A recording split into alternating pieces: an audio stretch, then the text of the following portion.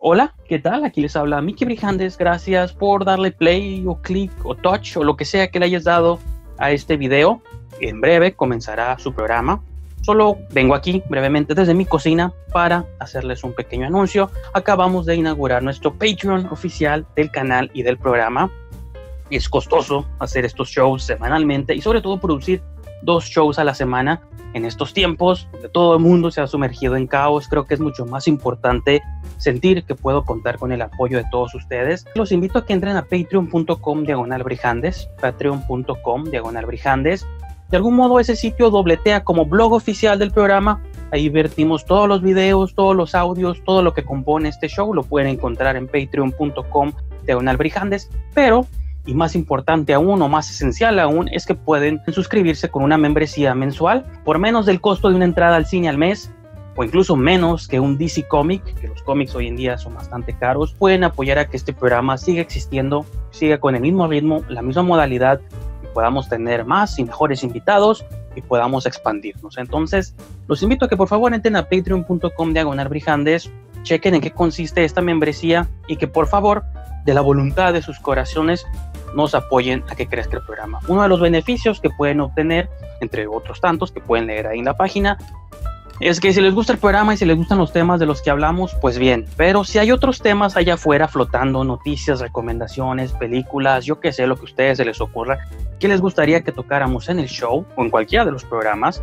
o hacer sugerencias de contenido, de invitados, de segmentos, secciones, yo qué sé, Ahora sí que la creatividad y el cielo es el límite. Uno de los beneficios que obtienen al suscribirse a Patreon es que son añadidos a un grupo oficial del programa. En ese grupo ustedes podrán hacer sugerencias, menciones, este, comentarios, yo qué sé. Y les aseguro que cada semana, cada martes o incluso los programas del fin de semana, vamos a tocar los temas que ustedes sugieran. Entonces, eso es uno de los tantos beneficios que pueden obtener si se unen al Patreon. Entonces, repito, patreon.com diagonal brijandes. Entren por favor, chequen las opciones y si les late, les agradecería mucho su suscripción. Ahora sí, sin más que añadir, comenzamos con el programa. Hola, ¿qué tal amigos? Sean todos ustedes bienvenidos a una edición más de su programa de cine favorito con nuevo nombre. Ya tenemos una semana que estrenamos nuevo nombre. Ya se actualizaron, según yo, todas las redes y podcasts y sitios. Y me falta ahí actualizar redes sociales nomás. encuentros de cine, donde nos encontramos. Son, no, como dijo Olivia, donde el reto es encontrar cuando hablamos de cine. Porque hablamos de todo menos de eso, ¿no? Y pues ajá, les presento una vez más a Olivia, Aro y a Ángel Orduña, que me acompañan en esta sesión. ¿Qué tal? ¿Qué tal? ¿Qué tal? Y saluden a la cámara, chicos. Y pues el día de hoy va a estar. Pues va a ser el programa tradicional, un poco de noticias, los estrenos de una semana como esta hace 10 años, una nueva, una nueva sección donde les voy a recomendar un DVD de mi colección, porque tengo miles. Desde aquí los puedo ver. Bueno, es que los guardo en mi cocina, ¿no? Por eso puedo verlos. Y pues nomás los tengo ahí colectando polvo. Siendo honestos, ya casi no veo mis viejos DVDs. Entonces dije, ¿qué hago con ellos? Que valga la pena. O que sienta que la inversión que hice en su momento valga la pena pues voy a incorporar una sección donde en cada episodio pues les voy a recomendar un DVD de mi colección. Para que los jóvenes también digan, ¿qué es eso? ¿Cómo se toca? Bueno, sí los conocieron la gente, ¿no? Creo que los VHS son los que ya... O los beta, por ejemplo, no. Pero los VHS son un muy sólido formato que no está mal si alguien lo sigue utilizando. ¿El VHS? Sí. Pues yo diría el DVD, porque el VHS sí ya. Yo creo que en VHS todavía hubo algunos quinceañeras familiares grabadas con ese show, ¿no? O sea, que uno recuerda. El otro día yo me encontré varios videocassettes ahí viejos. Porque quería grabar videos con videotape. Pero no, encuentro mi cable con el que para transferir a digital. Ajá, como que esa era la bronca del DVD. Digo, en general, pues sí se puede, ¿no? Y eh, técnicamente hablando, tú puedes tener tu camarita y pasarlo a un DVD. Pero era algo que muy rara vez hacía porque era medio tardado y difícil, ¿no? El VHS era muy conveniente y el, en ese formato de CD, pues eran los CDs de música pirata, ¿no? Pero la, un, recuerdos familiares en un DVD sí está como medio raro, pues tenías que contratar a alguien para que te digitalizara el VHS o algo así, pues no, era... No sé si te acuerdas, te tocaron, hubo un tiempo donde hubo cámaras que grababan directo a mini DVD, que no pegaron porque era bien difícil, porque pues grababa, se cerraba y luego dónde lo metías, porque las computadoras luego para leerlo se te iba y se te perdía ahí en el... Sí. Estaba como muy difícil esos mini DVD. Además, además evolucionó muy, fue de esa como brecha donde la tecnología empezó a avanzar bien rápido. Y en esos dos o tres años hubo como que DVD, mini DVD, este, el disquete, que no me acuerdo cómo se llamaban esos. Pues estaba el mini disc también, el floppy. el floppy, todos esos salieron como en dos, tres años, así pum, pum, pum, pum, y ya no sabías. Yo me acuerdo que un amigo tenía, estaba bien emocionado de comprarse después de unos Walkman salieron como a la siguiente semana unos eh, que usaban mini disc, que era, que era ese CD dentro de un cassette, bien raro, porque era reescribible. Y como a la siguiente semana de que se los compró, salieron los MP3 player. Y era como que no mancho, o sea, toda esa tecnología así en un ratito y pues, no, pues nadie se familiarizó con nada. Y el VHS duró un montón de tiempo y pues todos, todos recordamos un, o tuvimos un VHS, ¿no? O tenemos todavía. O tenemos, o tenemos. ¿Tú sí, tocas VHS entonces, Livia? Aquí, por aquí tengo uno tirado. Aquí tengo, de hecho, una de mis recomendaciones de hoy, sí, VHS. Wow, muy bien. Niños, esto es un VHS, era maravilloso, pero tienes que regresarlo después de verlo. Lo digo por si hay niños en la audiencia, no nunca saben. Fíjate que, ese formato está tan, tan pegado en nuestra nostalgia que creo que los chavos sí lo conocen porque si pues el emoji, ¿no? Aunque sea. como que el emoji o algo sí, sí lo, sí lo vemos. Fíjate que el, VHS que yo más recuerdo, así bien machín, que lo tengo bien presente, es un DVD. Es uno color verde, porque era de las tortugas ninja. Y mm. como que, wow, es verde, no manches, y tal. Ah, sí, yo tenía uno anaranjado. Yo compré en Waldos uno anaranjado. Este va a ser todo el programa el día de hoy, hablar de tecnología obsoleta. porque hubo un cortometraje que presenté hace varios años, pero lo proyecté en Cinemático Café, de hecho. Pero lo quería proyectar a huevo en VHS, ¿no? Entonces, de, digital lo transferí a un VHS, pero un día estaba como caminando en una Waldos o una solo un precio y vi unos estaban vendían como películas de los Rugrats o algo así de Nickelodeon oh. y los videotapes eran anaranjados. Entonces compré uno de esos, le sellé las aberturas esas que tenían y grabé mi corto en un cassette de los Rugrats, nomás para que la cajita fuera anaranjada y cuando lo proyecté así como, ay güey, un VHS anaranjado y ese fue mi gran logro de, del año. no sé si lo tengo por ahí, pero sí. Así es. Si lo encuentras, presúmelo, por favor. Sí, tengo mi corto. Este sí lo tengo a la mano. Igual ahorita que vayamos a un, primer break del programa, lo consigo y se los presento aquí. El... Creo que tengo la pura cajita, pero no sé si tengo el cassette por ahí adentro también. Pues bueno, entonces, por más interesante que esté esta conversación, quiero que hablemos de Christopher Nolan por millonésima vez. Yo sé que ya están hartos del tema y es como, hey, no puedes brincar esa noticia. Probablemente sea la última vez que lo toquemos en mucho tiempo porque ahora sí finalmente ya dijo Warner Brothers, ¿sabes qué, Nolan? Te aguantas, pero tu movie va a estar pospuesta indefinidamente. Ya le quitaron todas sus fechas y no se va a estrenar siempre, ni en julio ni en agosto. Está indefinida, así como, como dicen los gringos, TVA, ¿no? Para ser anunciada. Y con la posibilidad a lo mejor de que se si es que se llega a estrenar va a ser nomás en el resto del mundo, no en Estados Unidos, porque extrañamente Estados Unidos, digo México también, ¿no? Porque somos de los países, ellos pues por, pues no sé, por supremacistas y nosotros pues por mexicanos, eh, somos de los países que todavía seguimos como a la mitad de, del contagio, cuando otros países del mundo ya han estado saliendo y sobre, lograron sobrellevar la, pues la, iba a decir la influenza, pero no, este, el contagio, ¿no? O lo que sea. Entonces muchos cines del mundo se han estado abriendo. En México han abierto algunos, pero no todos. Incluso hay varios que han estado cerrando, incluso sucursales. Y en Estados Unidos también y todo. Entonces una de las posibles es que se estrene la movie en otros países del mundo, menos en Estados Unidos, pero a lo que abriría la puerta de eso es a la piratería instantánea, ¿no? En cuanto la movie se proyecte en China o en Australia o en algún otro país, pues va a azotar las páginas, entonces sí va a ser un golpe duro para el señor Nolan, entonces no sé ustedes qué, qué opinen sobre eso, chicos. Siento que a Nolan no le importa eso del dinero. Creo que no es ese tipo de director. Creo que más bien le importa el prestigio, ¿no? De estar como en salas. De que sea ah. cine. Como lo de Brijandes con su caja naranja. Quiere que, sea de cierta manera la presentación. Sí, ahí, ahí el, el andaba bien nolanístico. es un honor que me comparen con Nolan. es un honor para él ser comparado con mm. Este, pero sí, yo te digo, un, Zack Snyder o un este, ¿cómo se llama ese vato de la de Bad Boys? El este Michael Bay. A ellos sí les pegas con la lana ahí en canijo porque eso es lo que para ellos es hacer una buena película es que vendan, ¿no? Para Nolan se me hace que es más como como en qué cines estuvo y quién fue a ver su película, ¿no? Que en este caso Trump vale roña, pero que el presidente diga que está suave su película, ese tipo de cosas, pues, ¿no?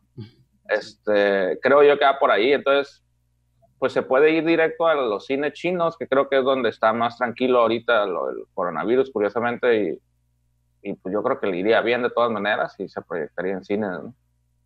Sí, porque aunque hubiera piratería, generalmente su trabajo, su trabajo es tan bueno que igualmente pagas para volver a ver. Y no bueno, a mí yo soy de los que no les dura el codo. Sí. Sí, de hecho podrías ver la pirata y de todos modos que te dieran ganas de ir al cine, pues. Aparte de la piratería sería grabada del cine, pues sería como esa piratería chafa que... O sea, porque usualmente las movies las piratean ya digitales cuando están disponibles digitalmente en algún lugar del mundo. Pero mientras estén en cines, las movies usualmente cuando se liquean o las suben a internet es, son esas versiones grabadas así con cabecitas acá abajo en el fondo. Y Además, por mucho tiempo en China no era fácil llegar que se estrenara una película gringa ahí, no era simplemente pues ilegal, impensable, impensable, ¿no? Entonces yo creo que si lo abres ahí, la gente está tan hambrienta del cine y de esa experiencia que pues sí irían un montón a, verla, ¿no? La, la, que sea, película que estrena allá, allá, es un hit porque lo que quieren es experimentar el cine, pues. Sí. sí.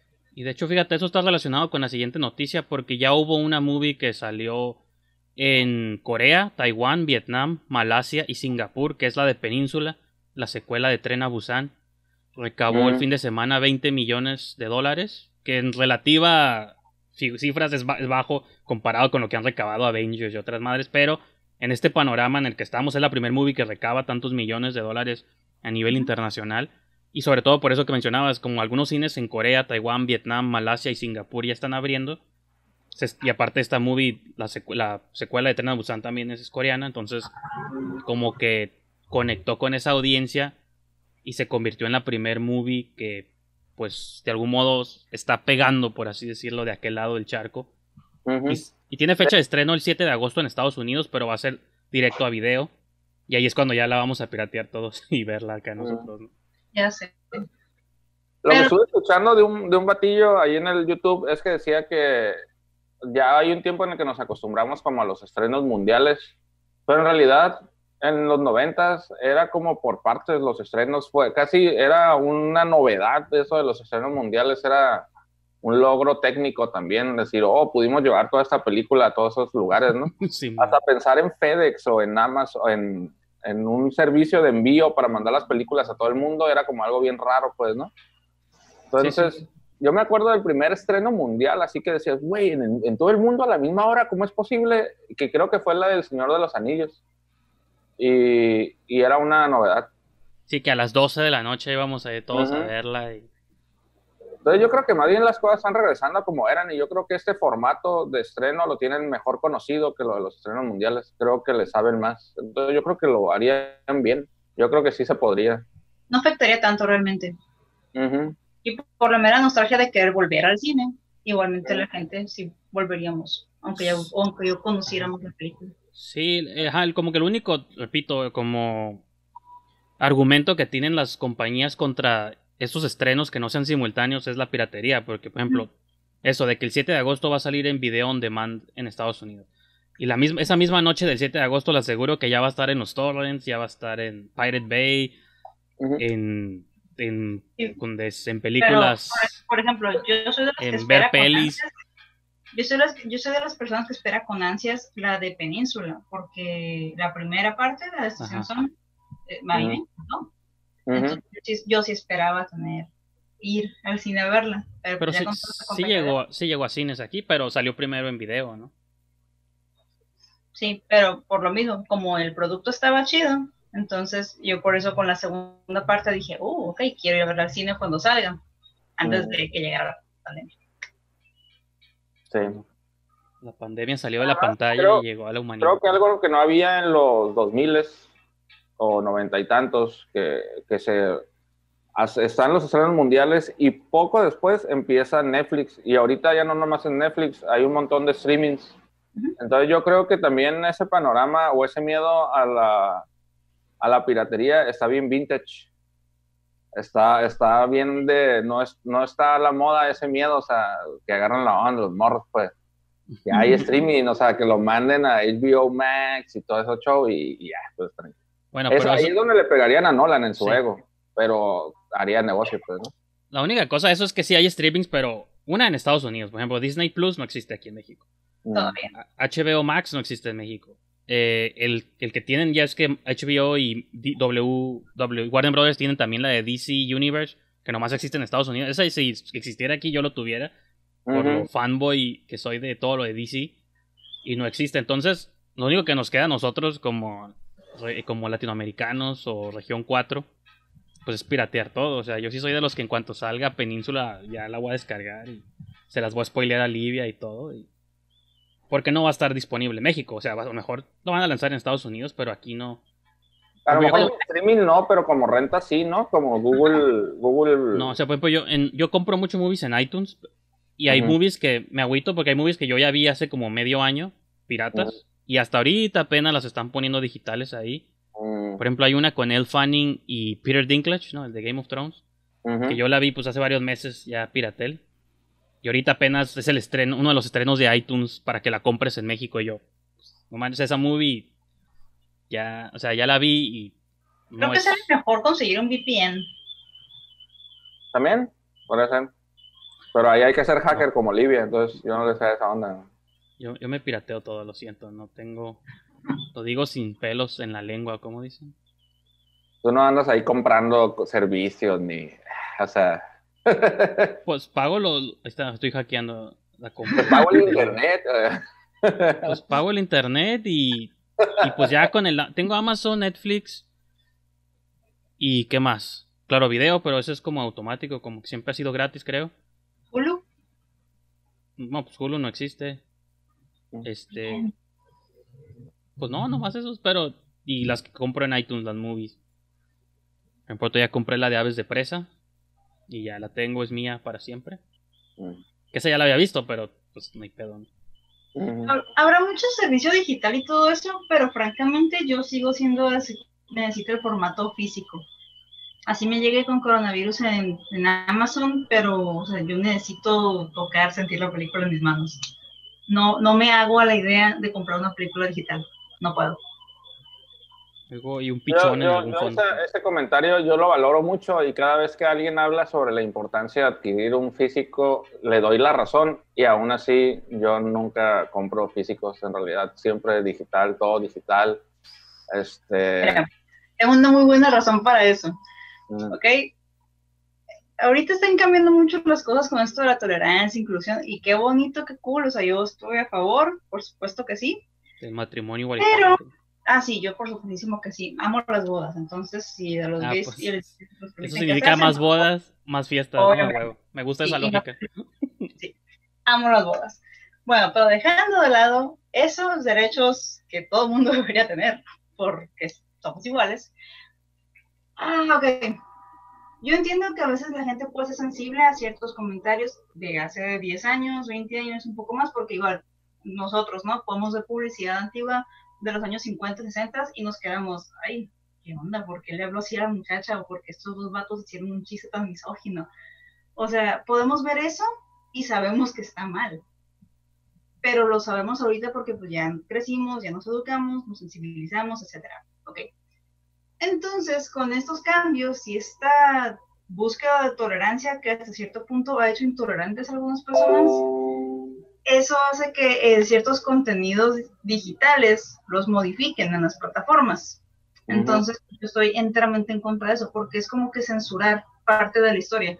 Eh, yo al menos veo como que las películas, los productos audiovisuales, como, como productos históricos también, porque muestran qué tan progresista o qué tan jodida estaba la persona o el artista en su respectiva línea de tiempo. Por ejemplo, no sé, yo veo Recreo, la caricatura de Disney, ah. esa madre está chida, los Rugrats, progresistas también, para la época. O sea, yo crecí con eso y digo, ok, esto está bien, chido. Pero hay por ejemplo, una película de Disney, que no me acuerdo del nombre, que estaba bien pro-racista y Disney la tiene pues, La canción Song of the South, ¿no? La canción. Algo así, sí. Ajá, entonces, o sea, Disney la enterró bajo tierra, la puso bajo el tapete y que nadie hable de eso. Todos sabemos que existe. Obviamente no la van a poner en Disney Plus, espera todo a Si hay algún hacker, por favor, encuentren la manera. Pues, yo la eh, tengo ah. digital grabada de un VHS así bajado, pero bueno, pero es a lo que voy, pues. O sea, yo, por ejemplo, yo sé que con, con esto, o sea, nadie va a poder cambiar lo que hay aquí. Entonces, a mí me molesta que esos, ese tipo de cosas que hicieron con lo que el viento se llevó, mm. es como querer tapar solo con un dedo. Es como de, no, la gente tiene que saber qué tan mal estaban las cosas antes para no repetirlas. E, es como lo que hicieron con algunas caricaturas, me parece que de Warner o Cartoon Network, no recuerdo bien, un título como de advertencia. Este contenido estaba hecho a cierta época, o sea, esto no está mal, no lo repiten, pero está divertido verlo. O sea, si preferiría que le agregaran ese letrero a cada película vieja a que anduvieran censurándole cosas o cambiándole cosas. Oye, es que querían cancelar a Eugenio Derbez por sus imitaciones de Walter Mercado cuando salió el documental. Sí. Mm. Por su representación homofóbica de Walter Mercado, pero pues digo, esas programas eran de los noventas y que de hecho, o sea, no le quita lo homofóbico, es correcto, pero igual, decir que Eugenio, es como si nos metemos a Blim y cualquier contenido que tenga Eugenio Derbez o que haya sacado lleno de homofobia, lo quieran, lo quieran editar y que se vea más chido. O sea, no, la gente tiene que saber hasta qué grado llegaba su ignorancia para hacer esa clase de chistes tan fáciles y malos.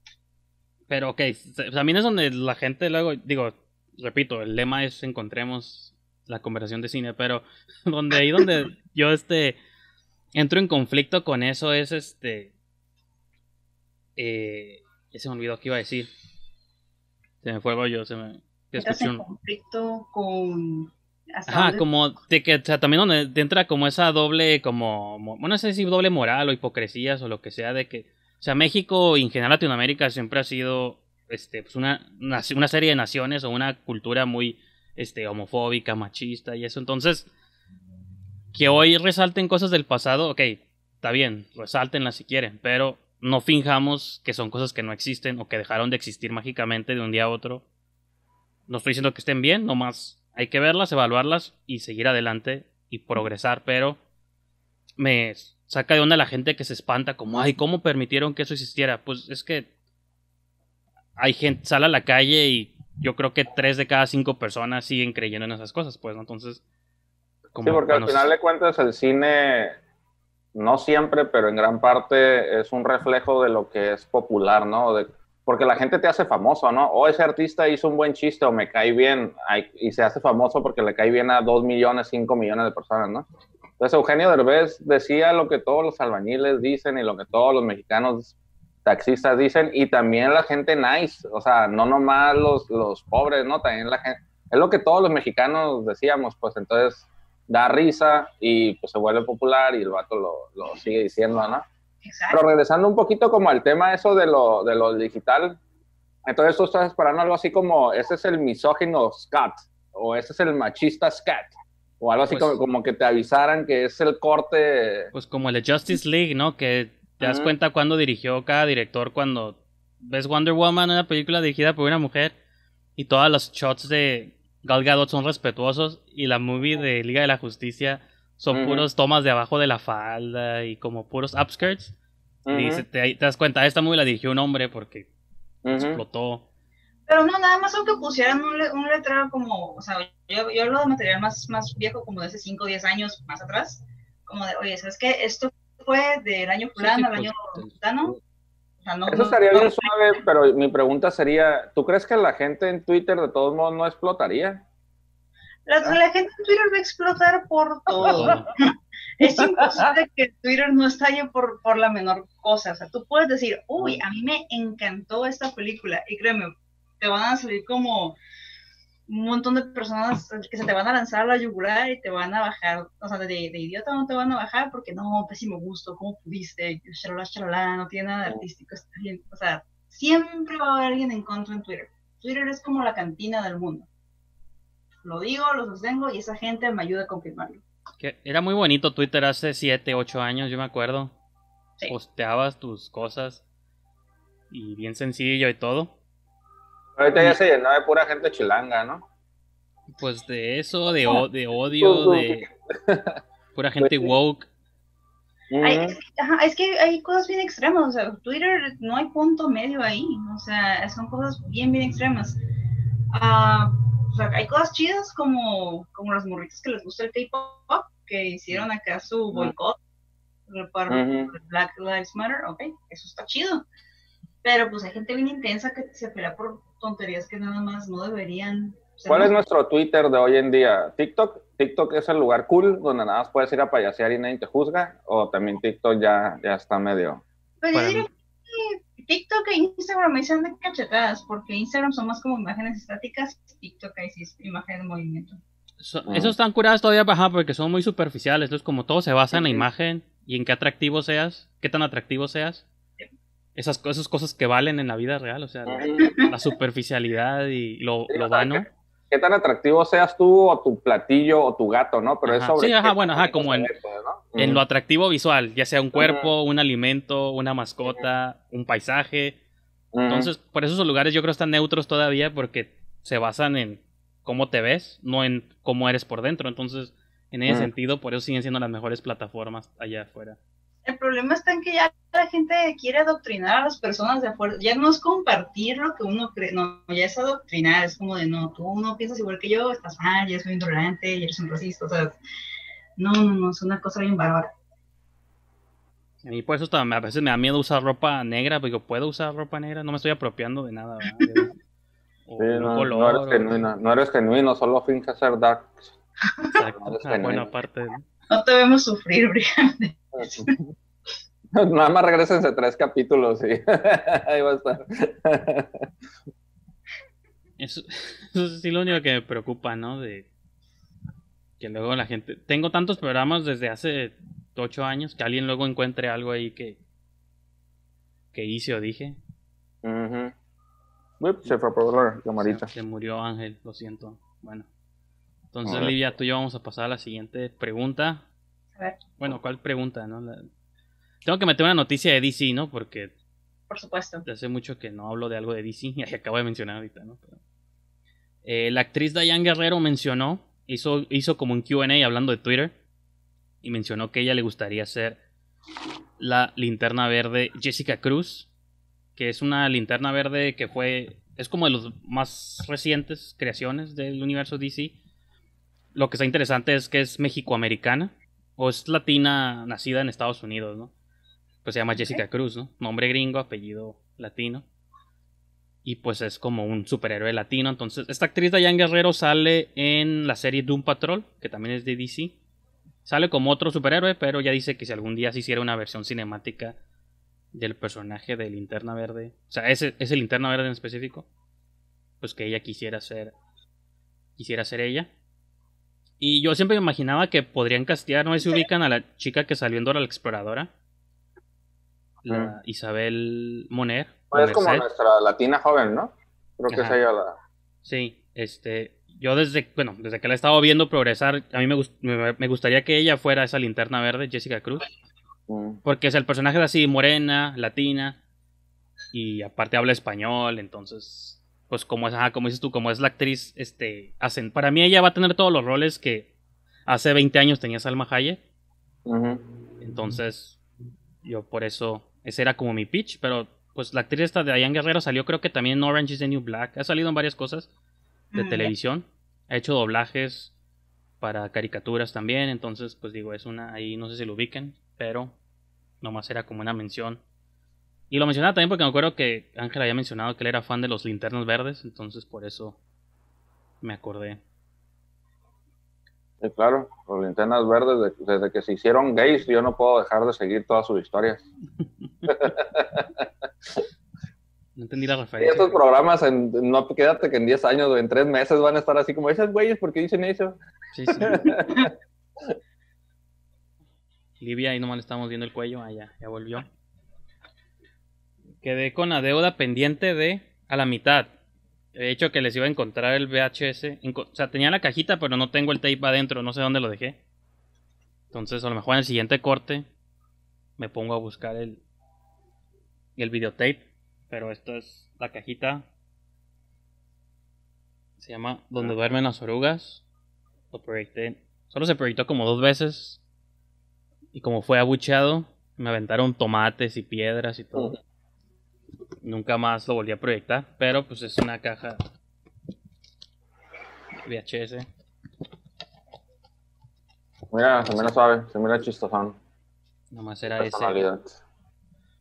El, la mención. Ok, vamos a hablar de las movies que salían una semana como esta, pero hace 10 años.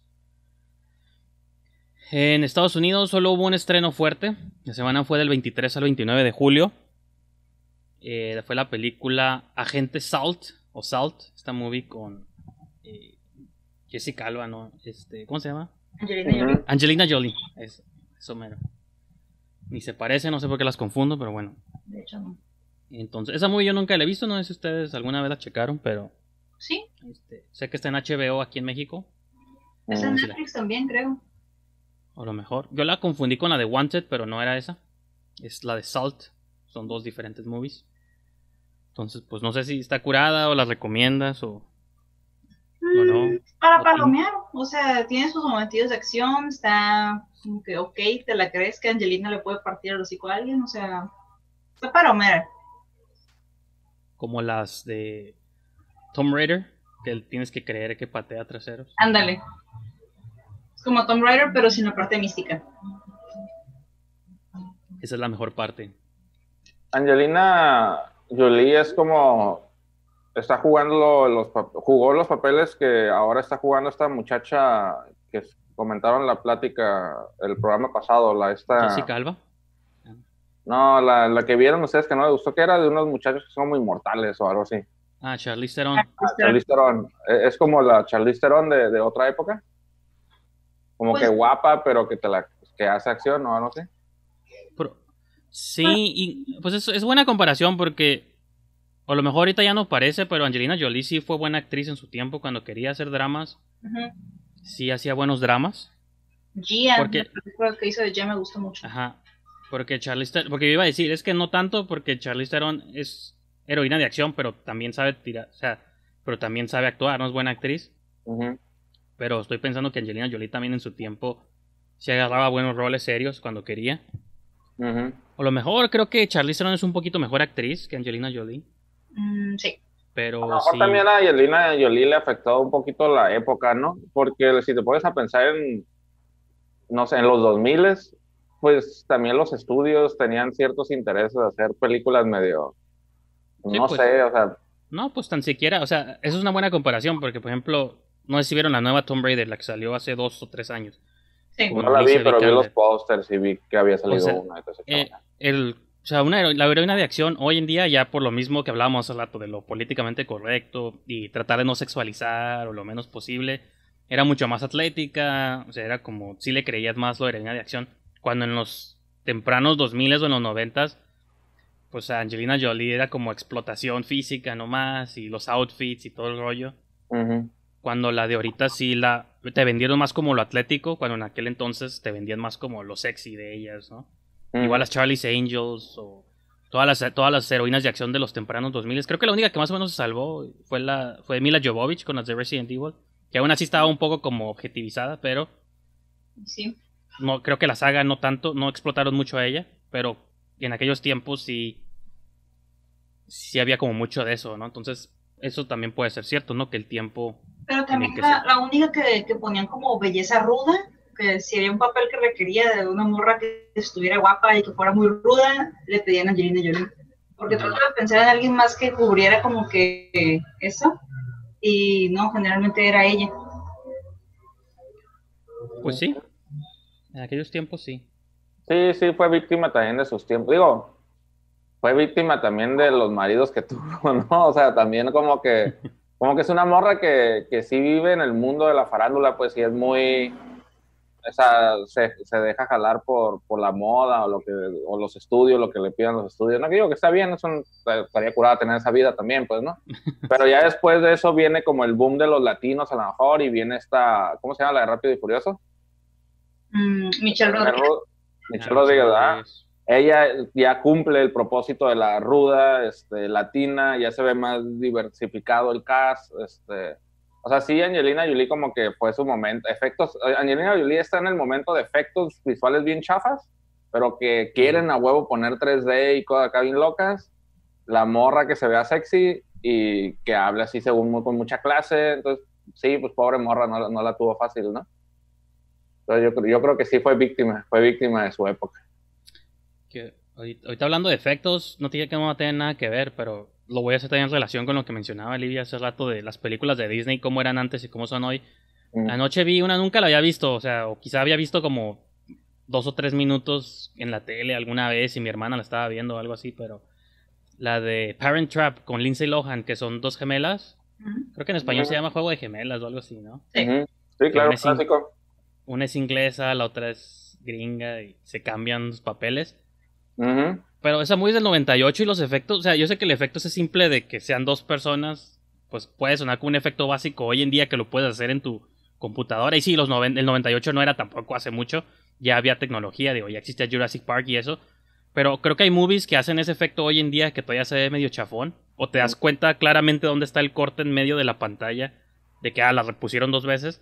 En esa movie hay unos como movimientos de cámara todo el tiempo y cosas cuando están las dos juntas hablando que todo el tiempo me estuve preguntando, ¿cómo hicieron esa escena? O sea, sí, o sea, lo intelectualizas más y dices, ok, una doble, y aquí cortaron y todo, pero como que no se sienten esas clásicas tomas de que está súper abierto y una de un lado y otra del otro. Y dices, ah, pues pues medio está partido, ¿no? Siempre había como algo movido, no sé si la, no la han visto en muchos años, pero vuelven a ver, ahí está en Amazon y en Claro Video también, creo. Esa, es obligatoria de cada diciembre, son películas familiares navideñas. Ah, pues me sorprendió a mí mucho esa tecnología. Y aparte la movie, digo, nunca la había visto bien y me, gustó, ¿no? Entonces, era todo lo que quería mencionar.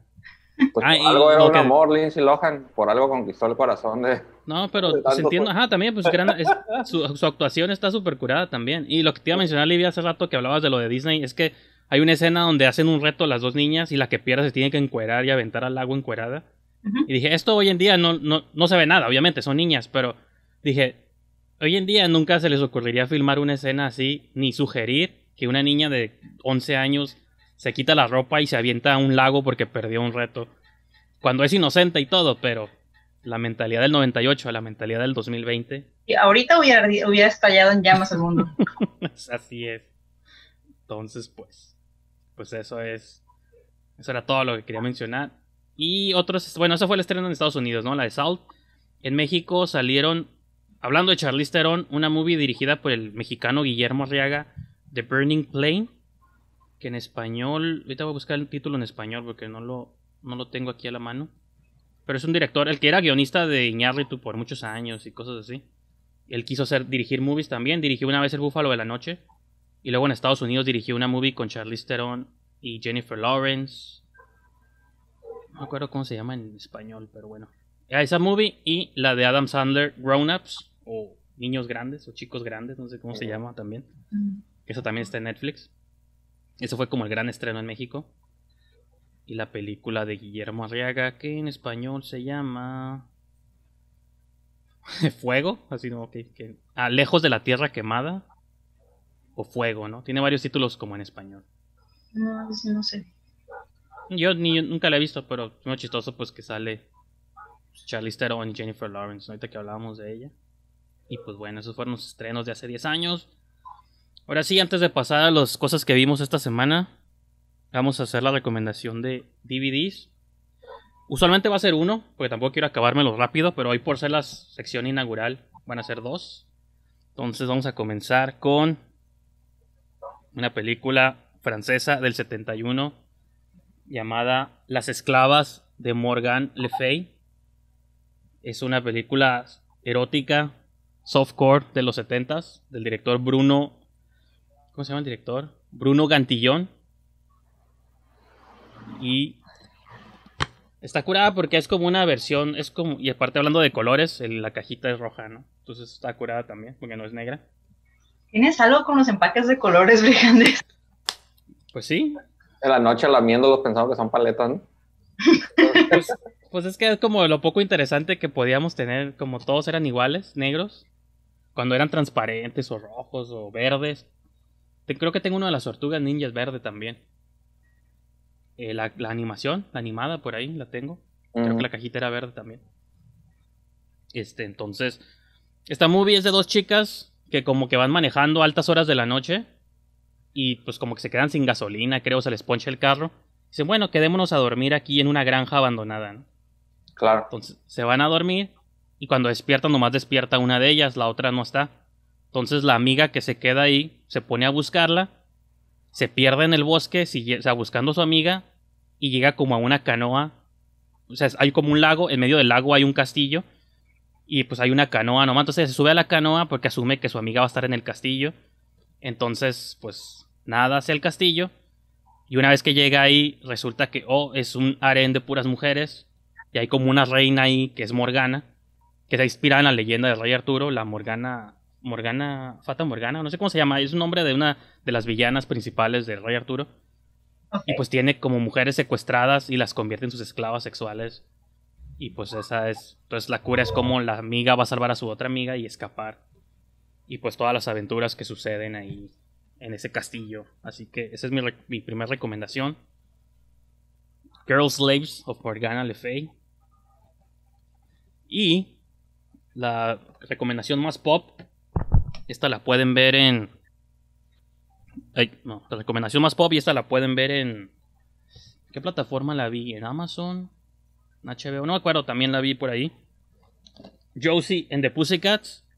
Esta, esta es una rareza porque no existe en Blu-ray. De hecho, ninguna de estas dos existen en Blu-ray. Nomás existen en VHS, eh, digo, en DVD y nunca volvieron a, nunca salieron en, Blu-ray. Esta creo que tampoco está en digital, entonces es la única manera de conseguirla en DVD. Esta ya la pueden. ¿Mande? Así es. Formato físico. Josie tampoco existe en Blu-ray. Se me hace raro. Creo que sí la puedes comprar en iTunes gringo. Pero. Y aquí la puedes ver en, una de estas plataformas. Pero si la quieres conseguir, conseguir físicamente. Pues nomás es en este viejo DVD. Y pues, esta movie me gusta mucho. Creo que yo siempre fui fan de esta película. Y por mucho tiempo recibí burlas por ser fan de la movie. Pero creo que hoy en día ya está teniendo como su revival. La gente ya. Es que era una burla como al, a la música pop y a los, a los extremos y cosas así. Tiene aquí un, folletito. Además es como de la época, o bueno, por lo menos el póster, todos eran iguales en aquel entonces, de American Pie y todas esas películas, ¿no? O sea, me recuerda como American Pie ese póster y a un montón de pósters como el 2005, 2008. Sí, como personas en un fondo blanco en poses con actitud. Sí. Y como que te predisponías a qué esperar, ¿no? O algo así, como que, ah, de esas películas. Sí, es, que de hecho ahorita salen ellas en las series de Riverdale y mm. todo ese, universo de CW porque son basadas en los personajes de Archie Comics. Sí. Entonces, pues es una banda que quería ser famosa y hasta que una, una un agente malvado las como que las recluta para hacerlas famosas después de la accidental muerte de un de una banda de una boy band tipo Backstreet Boys o algo así. Se mueren todos accidentalmente. Accidentalmente, ya luego descubrimos qué pasó. Y pues ellas las agarran como, ah, van a ser las nuevas como Britney Spears o Christina Aguilera o como las cantantes del momento de aquel entonces, pero es como una burla a cómo funcionaban pues todas las, como estas compañías disqueras y cómo explotaban a sus, a sus artistas, pero llevado como al extremo ridículo y marcas y publicidad por todos lados, como a la generación MTV creo que es un poco, se burla un poco como de eso, ¿no? Pues no sé si Supongo que la primera no la han visto, ¿no? Pero no sé si Livia, si tú ya viste esta de Josie and the Pussycats. Yo sí, a mí sí me gustaba. ¿Cuál es tu opinión al respecto? Si te gusta. Pues sí está curada, ¿no? Está muy suave y aparte, o sea, es como, bueno, siento yo como, ahorita que mencionaste lo de llevar las cosas a los extremos o tener fans muy locos, como que es perfecto para esta época, como que estaba muy adelantada a su, a su tiempo esa película. te estás congelando un poquito, pero bueno, esperemos que se haya ¿Es una especie de Pitch Perfect en otra época? ¿O... No, esta no es un Pitch Perfect. O sea, sí son cantantes, sí hay música en la película, pero aquí es más como que te, te refleja que tan seguidora, qué tan tapada puede estar las personas como para que si una persona, una corporación les dice esto es lo cool, esto es lo que está de onda, cómpranlo, y va toda la gente a comprarlo. Como que las modas se quitan la voluntad hasta cierto punto. Sí, porque ellas quieren ser famosas, pero no se dan cuenta que realmente la compañía es la que está dando como subliminalmente las instrucciones de que te gusta esta música, porque nosotros te decimos que te va a gustar esa música, no tanto por... No sé si vieron, bueno, eso es más reciente y no tiene mucho que ver, pero me recordó la de Yesterday, esta de cuando desaparecen los Beatles, cuando la compañía, la disquera, finalmente recluta al, pues, al protagonista para que grabe las canciones de los Beatles otra vez pues él lo quiere hacer por la música, pero te das cuenta que la disquera lo único que le importa es el producto, cómo podemos vender el disco, cómo diseñamos la portada, eh, qué ropa le vamos a poner al protagonista, ¿no? Pues para vender más. Igual le nace una estrella, poquito, pues una vez que Lady Gaga ya está haciéndose como famosa en la movie, ya les quieren controlar como la imagen y qué tipo de música está haciendo. Cuando pues el Bradley Cooper le dice, pues tú empezaste así normal como yo, con guitarras cantando y y ya la querían convertir como en una Lady Gaga acá con sus outfits y todo el rollo. Marionetas, pues, o sea. Y la integridad de Josie cuando dicen, no, eso es por la música. O se pone muy hola, no, eso es por el arte. Cuando en la vida real la gente diría, oh, está bien, me prostituyo por ser famoso. Y sale este, el, como el Archie. No, sale... No, no sale, creo que no sale ninguno de ellos bueno, las actrices son Rosario Dawson, Jennifer Layson Cook, que a mí me gustaba mucho ella, era uno de mis primeros crushes de secundaria. Y Tara Siento Que no le Siento que a, ella, a Josie, lo principal, no le dieron el impulso o su carrera como que no, en algún punto se estancó. Sí, porque no hizo, o sea, sí hizo varias movies, más o menos, pero... hizo la de, Ajá, con Freddie Prince Jr. y cosas así, pero no. Sí. Se, está congelando mucho tu imagen, Livia, me preocupa. No sé si sea tu internet o el... Bueno, sí es el tuyo porque Ángel no se me ha salido de... ¿Quién era la principal? ¿La rubia o la...? No, la Rachel A. Cook. Mm. La de la peli castaña. peli castaña, morena. No lo negro, pues es Rosario Dawson, ¿no? Ella es afroamericana. Tara Reid, pues era la rubia como... Ella era, es que ella era de American Pie, ¿no? ¿Te acuerdas? Sí y que también terminó en puras B-movies, pero ella sí creo que nunca fue muy buena actriz, que digamos. Sí, no, no era muy buena, era como la rubia guapa, atrevida, loca, ¿no? Algo así siempre. Rosario Dawson creo que sí era la mejor de las tres, por eso sí tuvo carrera todavía después, hasta la fecha, ¿no? Mm. Y creo que la protagonista, pues más o menos, pues sí, como dice Livia, como que le daban ahí comedias románticas, pero pues... A lo mejor fue otra víctima de la época, ¿no? Era como muy typecast, ¿no? Ándale. O te la imaginabas con ese peinado o ya no salía en la película o algo así. Yo creo, puede ser. Pero busquen esta movie. El DVD trae extras, trae videos musicales de la película, escenas borradas, comentario de la directora. ¿Dice que está en Netflix? Es codirectora, un director y una directora. Ese creo que no, no está como en una HBO o en, claro, o en una de esas, o en Fox, no sé qué. Está en una plataforma ahí. Ustedes búsquenla, lo siento. No me preparé lo suficiente para saber. Y pues ahora sí, Ángel, yo creo que, bueno, recomiéndanos tus, tus cosas y luego entramos al pleito debate que vamos a tener Livia y yo con 365 días. Mi pues, película favorita del año mi recomendación va a estar muy, muy leve, muy rápido también para, ya, ya quiero escuchar el chisme. Pero es un documental que la verdad sí está muy interesante. Bueno, primeramente hay una película que si no la han visto, la tienen que ver, es obligatoria, se llama Apocalypse Now. Es de Francis Coppola, la hizo después del Padrino 1 y Padrino 2. Entonces la tienen, la tienen que ver, ¿no? Si no la han visto, andan medio perdidos, ¿no? Es, es obligatoria. De ahí, durante toda esa grabación, eh, su esposa grabó todo el detrás de escena. Y está muy interesante porque además fue una película que ningún estudio quería hacer. Según narra el documental, desde la uh, Citizen Kane, uh, Citizen, estoy aquí en la computadora. Sí, sí. Kane, Citizen Ah, Kane. Citizen Kane, ¿cómo se llama el director? Ah, Orson Welles. Orson Welles.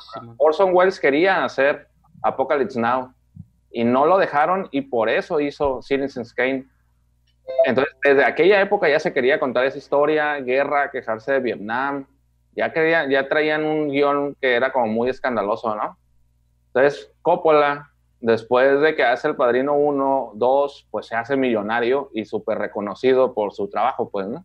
Y él pagó la, la película, él dijo, yo la quiero hacer, yo la voy a pagar, todo el, todo el dinero sale de su bolsillo.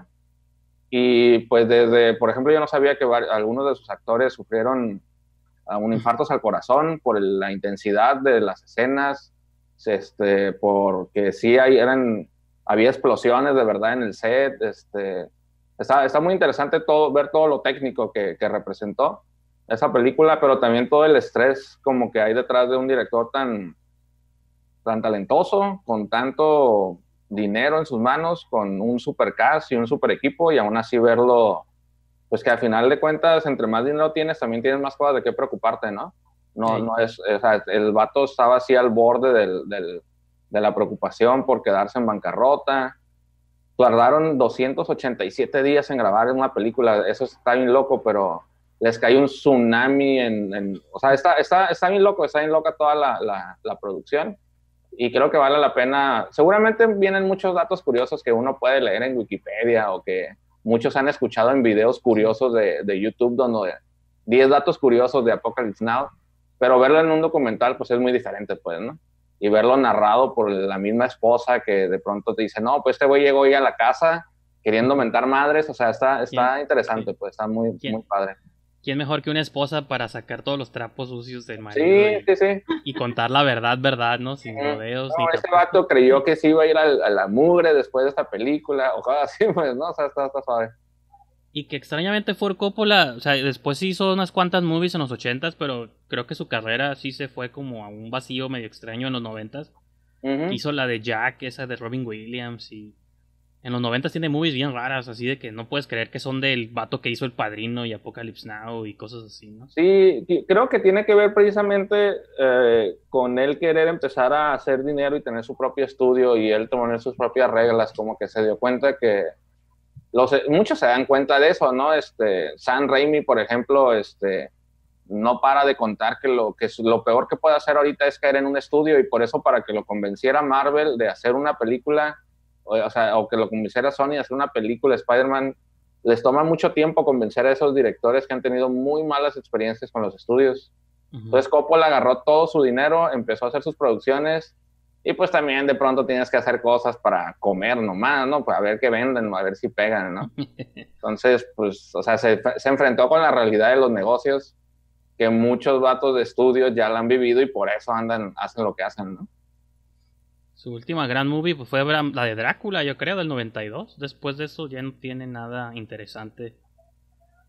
Entonces, sus hijos creo que ya le, ya le comieron el mandado, ¿no? Creo que Sofía Coppola, Gia Coppola, este, Roman Coppola, hay como varios Coppolas por ahí. Eh, Nicolas Cage creo que también es un Coppola, nomás que se cambió el apellido. Es su ahijado, creo. Ándale. pero yo, Entonces, pues... quién sabe cómo le caerá eso en el ego, pero así a ojo de buen cubero yo siento que también es, él se come un poquito de ese éxito, ¿no? Y se lo atribuye a sí mismo, así como, sí, pues es mi sangre, claro que sí, ¿no? Entonces, no, y- no creo y que le afecte tanto, ¿no? y que nacieron, a diferencia de tu podcast de cineastas pobres, pues también todos nacieron cineastas ricos, pues, ¿no? Sí. Entonces, pues cómodos y en sus mansiones, pues cómo no van a poder dedicarse al cine libremente. Por eso todos sus hijos o sus familiares salieron talentosos, porque pues Pues pudieran ahí para echar a perder, Es- echar a perder es- se aprende, ¿eh? escuelas privadas de cine. Digo, a mí Sofía Coppola me gusta mucho, no hay movie de ella que no me guste, es, es muy rara, pero estoy consciente que nació pues en cuna de oro, pues, ¿no? Y eso le dio facilidades que un- otras personas no tuvieron, pero pues ahí cada quien lo que le toca en la vida, pues, ¿no?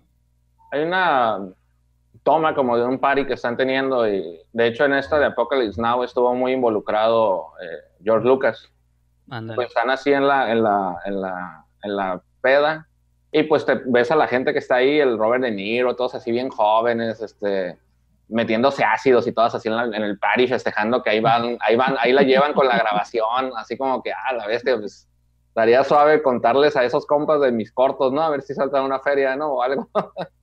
Pero sí, no, es otro, es otro nivel. Pues, ¿Cómo se llama el documental, dices? Se llama, en inglés se llama eh, Corazones en, ¿qué? Corazones en tinieblas, se llama en español.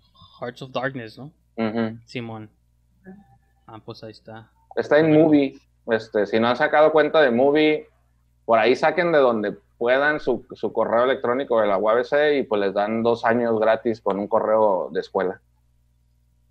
Yo nunca fui a UABC, entonces no tengo. Lidia, pásame el tuyo. ¿no? no recuerdo haber usado mi correo de UABC en algún pues, punto de mi vida. Ibas borracha por lo que vimos. Simón. Iba sumergida en vodka. no. Bueno, hablando de otra movie sumergida en vodka, Livia 365 días. Primer round. Ah. No, o sea, no, ok, voy a ser honesto, no, ahorita te pregunto a ti tu opinión, pero no me gustó, pero no la considero deplorable, porque yo todos los comentarios que vi y leí y escuché y hablando de Twitter otra vez y todo, era esta horrible película misógina, este horrible, destruyenla, quémanla, manden matar a la directora. No, o sea, todo. Y para empezar me llamó la atención que la dirigió una mujer, él, está basada en una novela escrita por una mujer y la protagonista también se me hizo como interesante, ¿no? Entonces digo, ok, tiene como tres roles femeninos muy... La movie los tiene como en, en puntos claves.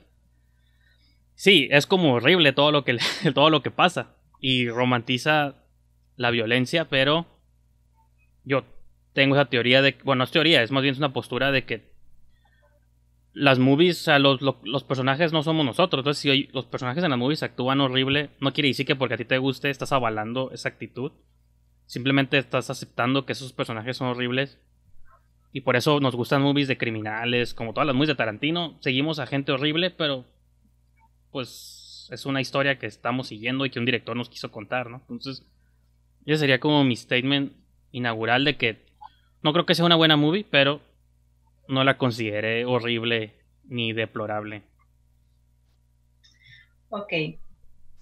Yo, en lo personal, si es de esta película, sí la considero deplorable. No creo que tengamos que matar a nadie, ¿no? Pero sí está bastante mal. O sea, ah, por ejemplo, yo, yo entiendo cuando salió lo de Fifty Shades of Grey, ¿no? Que mugre vato controlador y pues ahí no lo bajaban y había gente que no estaba de acuerdo con la película. Pero, ok.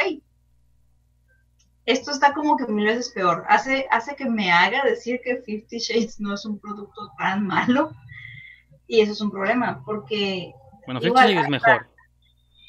Sí, pero o sea, hasta, hasta para poner en plan romántico a cualquier criminal, porque hemos visto películas donde hay criminales que adoran a su pareja, como Pulp Fiction, que tenemos esta linda parejita, Honey Bunny y ese otro vato.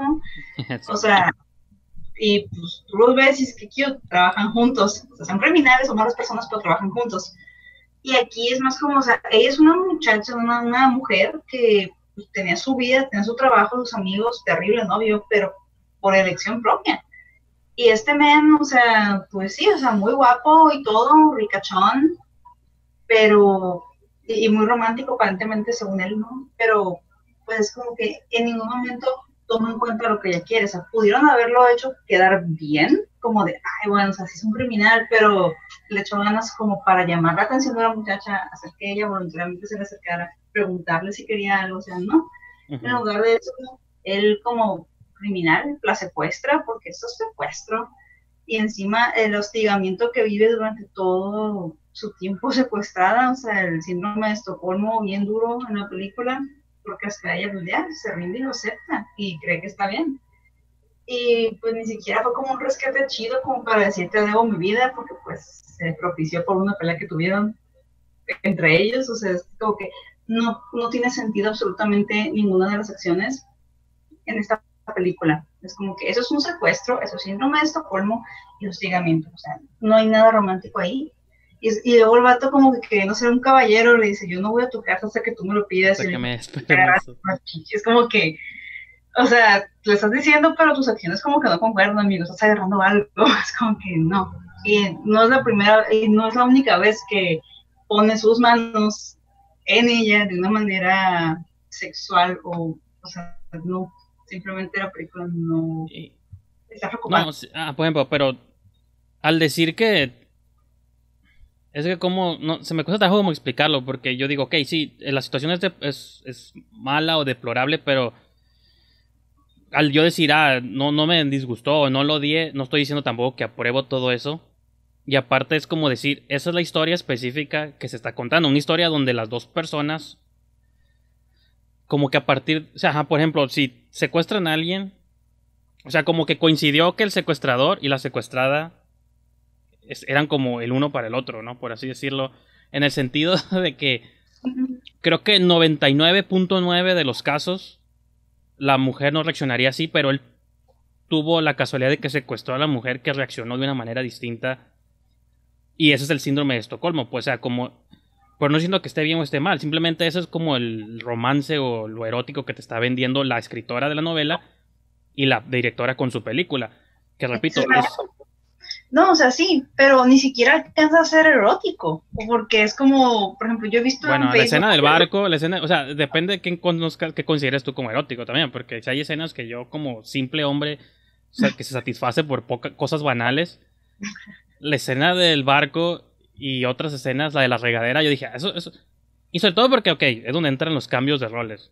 Yo lo pensé al revés, ¿qué pasaría si una mujer atractiva me secuestrara a mí? Y yo digo, estoy casi seguro que yo actuaría como ella. Digo, también pensando que yo fuera una persona atractiva, ¿no? O sea, que los dos estuviéramos iguales, porque los dos protagonistas, super hot, él, ella, los dos, los entes más atractivos del planeta, ¿no? Y como se están bañando los dos juntos, o sea, eso dije, ok, a huevo. Nomás cambiamos los roles. Ella es la secuestradora y él es el secuestrado. 99.9 de los hombres se irían con el juego, dirían, a huevo. Me saqué el, como el jackpot, ¿no? Mm. Entonces, también donde entra ese rollo de qué tanto está vinculado como al género o a las cosas. O sea, ¿por qué no podemos decir que hay una mujer con lo mejor? Esa es como la fantasía, creo yo. No estoy diciendo que esté normal. Y obviamente el secuestro es horrible y lo hemos hablado muchas veces aquí sobre la situación que pasa en México y esto. Pero creo que la fantasía que la escritora está explorando, que igual que Fifty Shades y todas estas movies, es qué pasaría si un secuestro... O sea, enamorarte de tu secuestrador.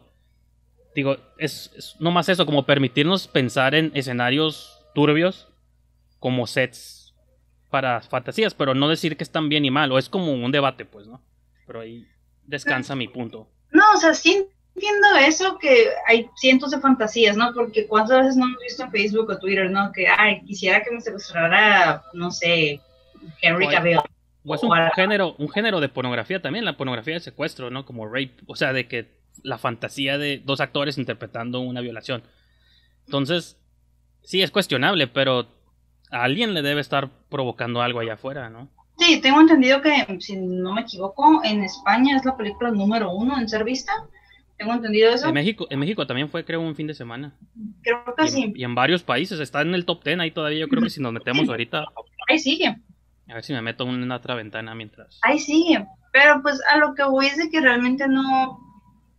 No, no, no, no te no, no, puedo- no puedo yo al menos comprar la idea de que realmente eso sea una fantasía del todo. O sea, tenemos a este, te digo, si, si hubiera sido como que, ok, va, le perdonamos que sea un criminal, no hay problema, yo entiendo, los criminales tienen su corazón, está bien, se pueden enamorar, ¿por qué no?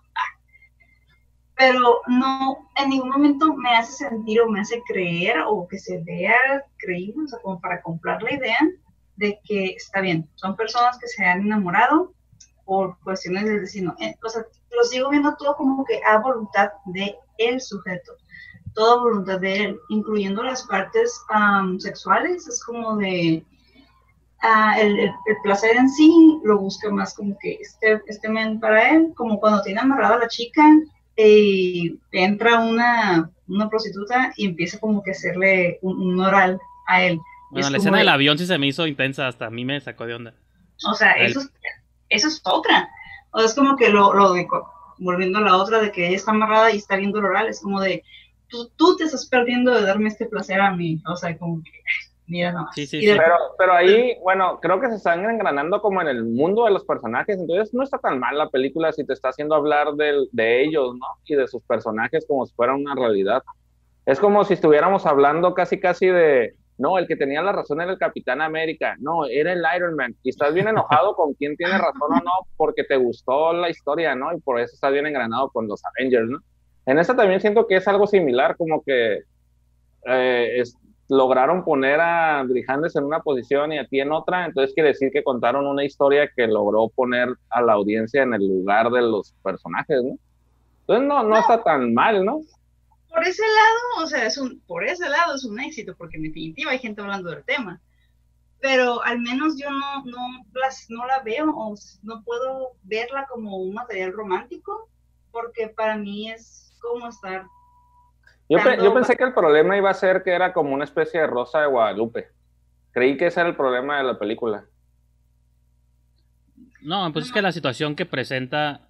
Bueno, es que aparte entra otra cosa hasta en cómo la movie está filmada, tampoco. O sea, sí parece como un video, video musical, así, ¿no? Como todo. Ah, eso iba con lo de, o sea, que pensé que iba a estar bien chafa producida, bien mal grabada, que la historia no iba a tener un hilo.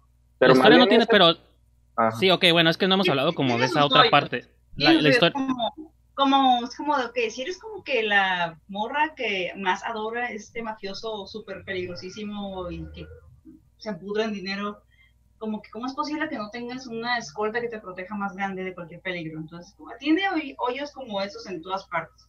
Y de la nada es como que ya, pues ya nos queremos y ya vamos a bailes juntos. Es como que, te digo, no, no, como que no termina de conectarse, a lo mejor era, quiero creer que en el libro hay más cosas que le dan más sentido a esa historia, quiero creer.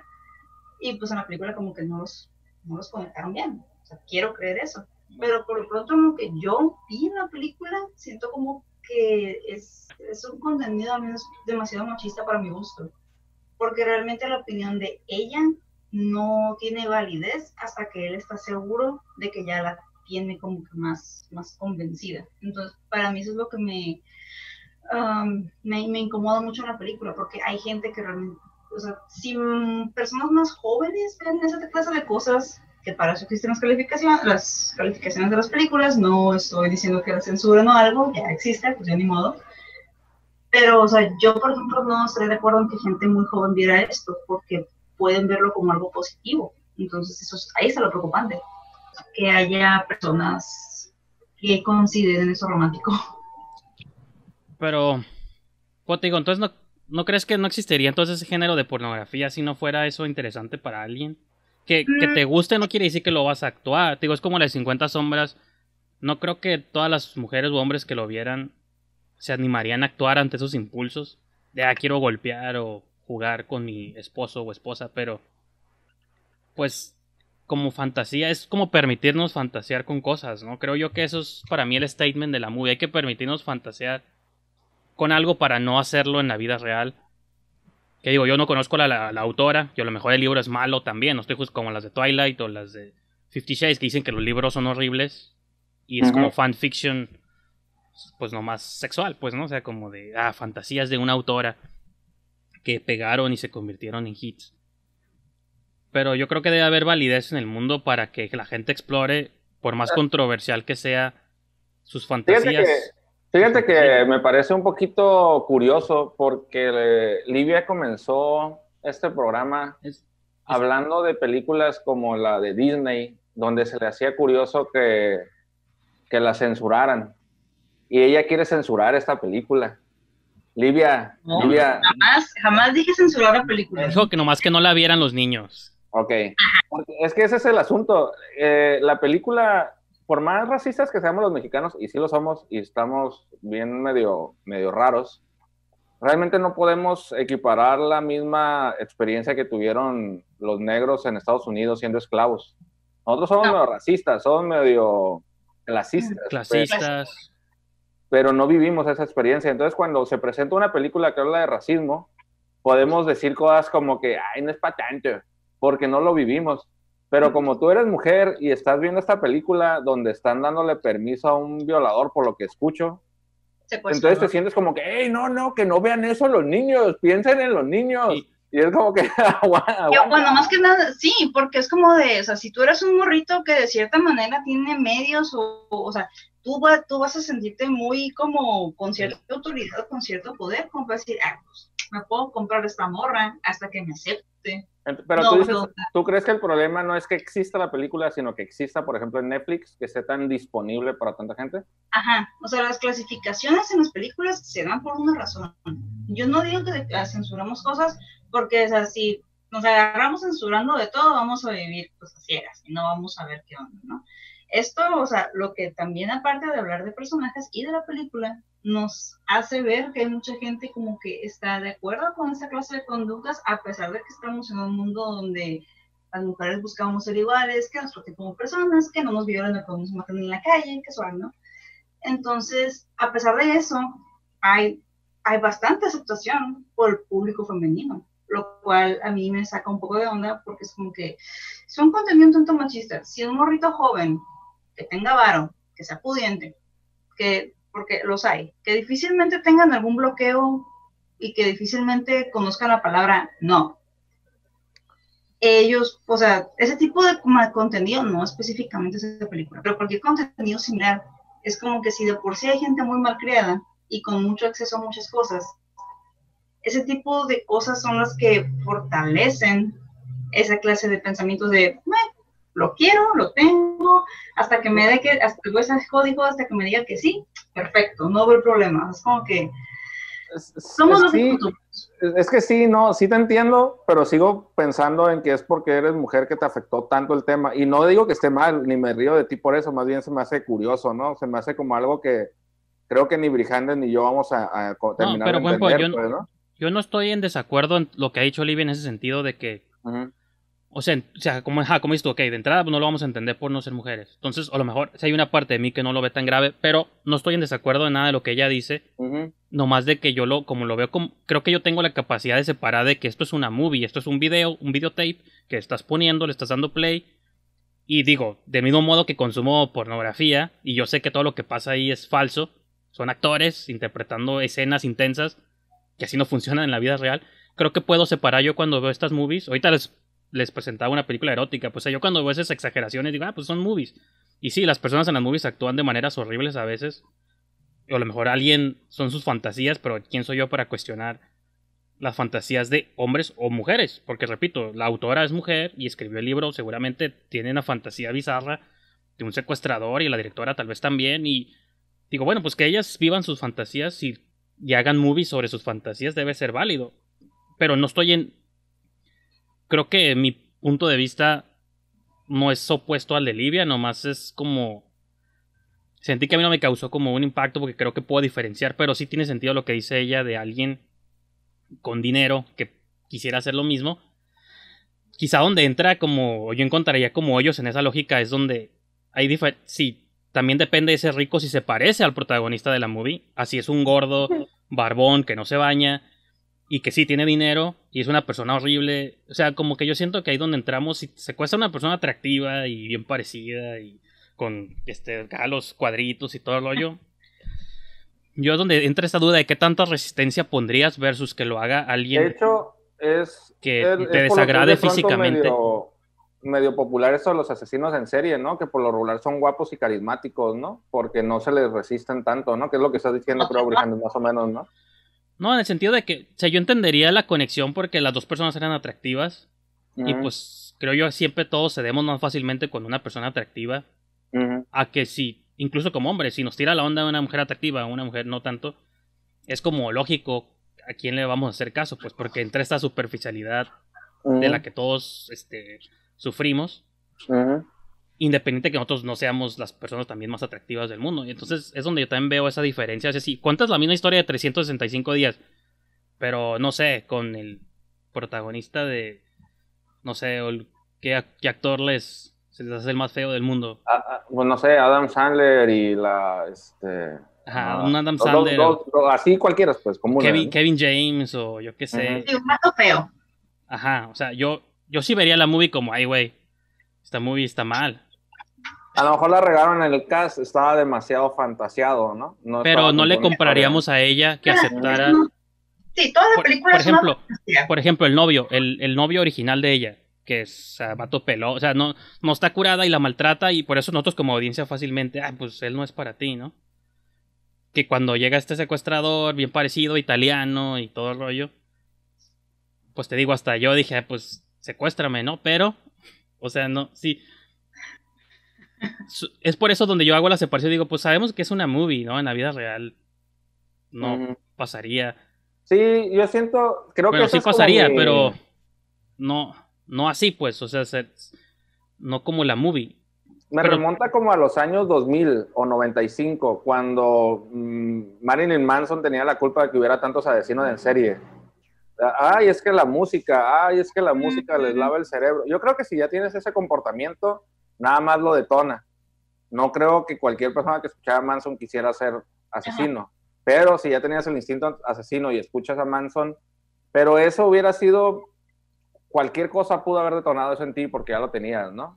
Es, como Pues sí, yo nunca, voy a yo nunca voy a secuestrar a nadie, ¿no? Y podría hacerlo, supongo que sin, con dinero o sin dinero. Nomás sí, aunque ahí dándole un poquito el giro, a darle un poquito la razón a Livia, aunque no termino de convencerme, la verdad, es que esté tan abierta a las masas en Netflix con tan tanta apertura de esas clasificaciones, ¿no? Pero, es donde entra la hipocresía de la gente, porque Game of Thrones, Game of Thrones fue una de las series más populares de la historia, y Game of Thrones estaba llena de incesto, de violaciones, de todo esto. Y es así, todo el mundo lo veía, pues, pero porque está en el contexto de la fantasía. De... Creo que es porque está en el contexto, yo, yo quiero ser más práctico, yo creo que es porque está en el contexto de HBO, que es como ya sabes que hay en HBO, hay pues muchos desnudos, ¿no? No, y aparte que era una historia que funcionaba, tenía, o sea, tenía sentido, tenía coherencia y todo estaba relacionado o hilado sin contar la última horrible temporada, pero, o sea, en general era una historia bien formada. Ahí es donde ya no, ahí es donde sí necesito ver la película para entenderte, Livia, porque no sé pues, hasta qué punto dejas de hablar de la película y empiezas a hablar otra vez de tus ideales. Como que pues, siento que. Esa era la tarea que la viéramos, pero al parecer alguien no la, no la hizo. dejando, de lado mis ideales, donde realmente me gustaría que ninguna mujer fuera asesinada o que pudiéramos salir a la calle a gusto. No, pues yo tampoco, o sea, y también eso es lo que me, no quiero porque Ángel me está pintando como que al yo defender la movie, estoy pro esas actitudes cuando ni siquiera la, esa parte de la movie no está bien hecha, pues es que ese es otro debate que ya no hicimos. Esa es mi pregunta, esa es mi pregunta, ¿la película está, está suave la historia o no? tiene como buena... No, está la historia y está mal hecha. Ok, ajá, no, tiene buena foto, ponle, o sea, está bien a veces, pero el plot está random, o sea, no tiene a veces sentido en cómo actúan los personajes y luego todo lo que ha dicho Olivia es cierto, de que a veces la actriz, o sea, a veces el personaje principal de una escena como intensa o triste, maltratada, hay un corte y ya está como en una tienda comprándose ropa, lencería y modelando para él. Y digo, Animales Nocturnos 2. Animales pues Nocturnos 2 es lo que están pues, diciendo. Pues casi, casi. Y luego de esa escena se va a otra escena como intensa y, deprimente y luego mm. está la chica con su mejor amiga y platícame cómo es él y vamos a un bar a y luego mm. como que no tienen no tiene incluso balance de tono. O sea, sí está mal hecha la movie en ese sentido. Como que quieren que te enamores a huevo de los personajes, pero pues no se consigue. Ok. Entonces, digo, no, no, no quiero que crean que la estoy defendiendo, nomás lo que yo quería decir es que no sentí, porque las opiniones de Livia las he leído en muchos lados y, sí, y lo entiendo, o sea, entiendo, pero yo no la sentí como, yo, como dices tú más o menos Ángel, yo pensé que era más ofensiva o más mala cuando yo nomás lo vi como una movie que explora fantasías tabú. Y está bien que exista porque hay gente que fantasía con eso. Nomás no lo hagan en la vida real. Pero. Y sobre todo cuando leí que la directora, o sea, la hizo una mujer directora y la novela es de una autora mujer, dije, ah, bueno, pues son las fantasías de dos mujeres en cine. Así como hay. Así como hay hombres que escribieron Rambo y es la fantasía de un hombre balasear a miles y sangrar y ser el héroe de acción. O Die Hard estaba en una novela también de un hombre que contra un edificio completo y o sea, como esas fantasías masculinas, digo, bueno, a lo mejor esta es una fantasía de algunas mujeres y debe ah. existir en movie, pero es mala movie. Creo eh, que es precisamente esa pequeña idea que tú tienes lo que creo que ya tiene el blanco de lo que le podría molestar a Livia. Que tú creas que podría ser una fantasía de una mujer, que, exista esa, esa opción eh, en, nosotros. Que pudieran decir, a lo mejor así piensan las morras. No, no todas, no, y yo no digo todo, no, y no es cierto. No... La película no me molestaría tanto si no lo hubiera secuestrado. Es como que, ok, no hay problema. O si, criminal. o si fuera una película porno, vilmente, no te molestaría.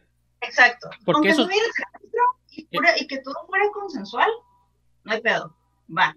Es como que está bien. Tú, morra, tú solito decidiste dejar tus cosas, tus amigos, a tu vato que no vale ni tres pesos, porque te gustó más este men, arre, córrele. Como que, o sea, si él hubiera llegado, y hubiera dicho, ¿sabes qué? Mira, mira, mija, yo provengo de una familia importante, tengo un chingo de varo, este, te advierto que soy un criminal, pero te vi, me enamoré y quiero mis hijos contigo. Sí, aquí están las fotos de tu vato, que, es horrible y te engaña y no te valoran, pero yo te voy a dar el mundo. Dame un año de tu vida y te cambio todo tu, todo, todo tu ser. Le, le, le, baja las estrellas en ese ratito, ¿no? Y ella dijera, ¿sabes qué? Ok, va, yo quiero irme contigo voluntariamente. Ahí hubiera tolerado más la película a pesar de que estaba mal hecha. Ahí sí. Y te apuesto que voy a menos gente quejándose como de, ah, bueno, este vato, pues, ok, le está comprando todo y ya no trabaja no hace nada productivo, pero está contenta la muchacha porque quiso. Todavía. Pero, pero es una fantasía demasiado pausible, ¿no? Como que sí podría pasar más fácilmente, entonces ya no sería tan, tan suave la película, que no daría tanto de qué hablar, ¿no? O todavía como que ella fuera una empleada y pues es como que, eh, no, no salgo con mi pues, jefe. Pues es como la de 50, la de 50 sombras es un contrato consensual, o sea, las dos partes aceptan, él la, la maltrata, la golpea, por, así decirlo. Tengo menos problemas con 50 Shades. Pero en 50 Shades ella acepta la sumisión y él incluso le hace filmar un contrato donde incluso le pone como estipulaciones, como fisting, anal y todo, o sea, como bien intenso, y ahí dice, esto sí, esto no, y ya, ok, y hacen un contrato y lo aceptan y, hablo de la 1, más bien, este, por ejemplo, a mí la 1 de Fifty Shades sí me gusta, la 2 y la 3 están como al nivel de esta movie, de que, de que están como por todos lados. Hablo como en plot, ¿no? No en contenido. Como de que no tienen pies ni cabeza. Para mí la 2 y la 3 de Fifty Shades no tienen pies ni cabeza. En ese sentido, encuentro los parecidos y esa fotografía como bien flashy, así como de tonos. Ah, cortea, cortea, cortea, como que pero. Todavía en esta, si es como que, ok, va. Si no queremos una fantasía tan plausible, bueno.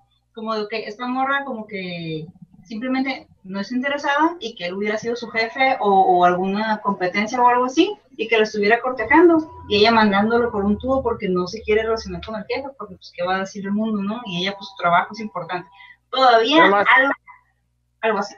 No creo que la vaya a ver, ¿eh? no, no es una película que me interesa mucho, mucho mirar, pero nada, tengo una duda. Aparte dura dos horas, entonces no, no. ¿La secuestra y se enamora o la secuestra, la viola y se enamora? O algo así. Primero, primero la secuestra, le mete mano de una vez, luego como que se enamora y luego ya, ahí sí, ya, ya como que tienen sexo. O sea, en el sentido estricto sí es una violación, porque lo ella está retenida contra su voluntad, pero la movie te lo plantea como que él no le va a hacer nada hasta que ella quiera, y el mm. twist es cuando ella finalmente quiere y lo hacen en un barco, por todo el barco, ¿no? Que ese es el momento. Ah. Sí, o sea, las políticas de la movie sí están raras. Es que, digo, no estoy diciendo que todo lo que ha dicho Olivia es incorrecto, porque sí tienes razón. La diferencia nomás es en, donde diferenciamos es en, el que quizá ella encuentra que sea problemático que la veamos y yo no lo veo lo problemático porque para mí no hay diferencia, repito. Sí, sí, sí. Pues milésimas entre ver esto, ver una porno donde la gente hace cosas bizarras, igual. Pues o Rambo y no sales a disparar a todo el mundo, ¿no? Pues sí, Ajá, pero sí entiendo esta idea de que hay gente que la puede ver y sean ricos o incluso no ricos y que si es una problemática que en México es real y en varias partes del mundo. O sea, la movie sí, sí es problemática en ese sentido. Nomás no pues no sé, como defensor de, más bien entro como defensor de las movies, de que siento que todas las historias deben contarse y no somos como nadie para decir, ah, esta, no se hagan movies de este tema específico, por más tabú, no, sí. o sea, el incesto, la violación, o sea, pues hagan movies de todo, o sea, ¿cuál es el pedo? Pues, ya ves la... la, Bella y la Bestia también fue un secuestro pues y tiene... polvo y aún así está más aceptable que esta, que esta cosa. Ah, sí, pero sí, pues sí. Y la bestia era. Allí había hasta, como se le llama, bestialidad. ¿Cómo se bestialidad? ¿No? ¿Cómo se llama el. ¿Ofilia? Bueno, también, ¿no? Pero hay como un término específico que. Sí, de bestiologías, ¿no? Ajá. Sí, man. Sí, pues o sea, sí, sí, sí, sí, ya, ya caigo en, en, toda esta problemática que pudo haber despertado esta conversación, esta película en internet, ¿no? Sí, me imagino cómo va a estar no quiero Que la censuren, no quiero que la quiten en Netflix o la cancelen, no. Nada más, sí es algo como que, es el tipo de cosas que creo yo como que sí debería estar muy, muy, muy en claro el tipo de clasificación o el tipo de plataforma donde se va a manejar. De hecho, ya hablando, o sea, sigue con el tema de esta película, pero ya no esta película, sino en general. Uh, existe en Netflix nada más esta versión de niños, adultos, ¿verdad? No hay más clasificaciones, ¿verdad? No. No.